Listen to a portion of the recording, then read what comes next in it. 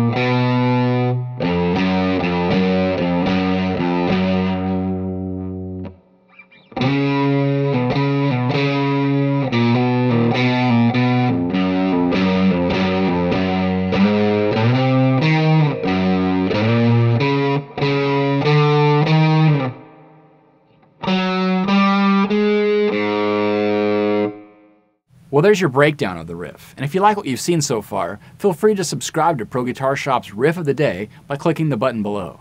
And let's continue with a slow tempo version.